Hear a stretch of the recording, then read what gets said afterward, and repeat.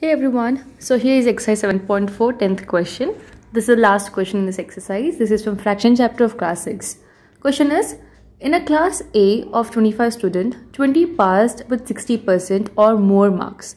In another class B of a 30 students, 24 passed with 16% or more marks. In which class was a greater fraction of students getting with 60% or more marks? So I've already written a statements here. Talking about the two classes, one is a class A and a class B. In the class A, there are total 25 students and in the 25 student, 20 passed. Okay. In case of class B, there are 30 students. Out of this 30, 24 students passed with 60 percentage or more marks. That is the first class actually. So let us write down what we know from the question. So first I'm going to talk about the class A. So in class A, there are total 25 students and uh, number of students who are passed are 20 it's a given already. So the fraction will become 20 upon 25 because out of 25 20 students passed.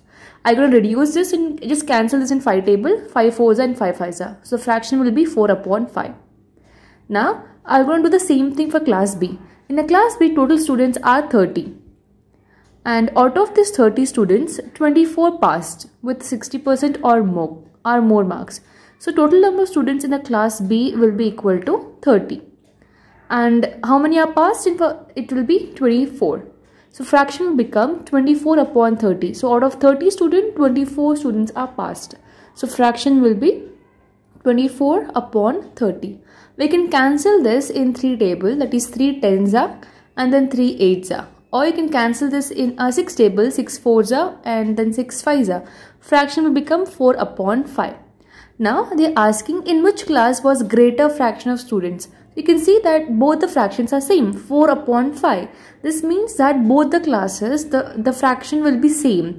So both the classes passed with the same fraction that is 4 upon 5 of the total strength.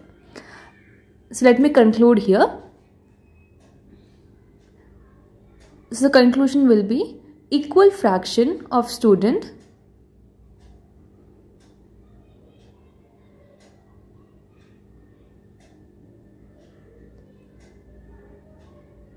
passed equal fraction of student passed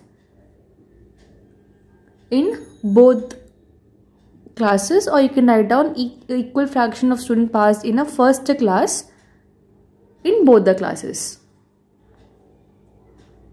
That's it. The first class means that is getting a 60 percentage or more than that is also called as a first class. That's it. It was simple question. We have to just find the fraction and just compare it. In this case, the fraction came out to be same. It is 4 upon 5.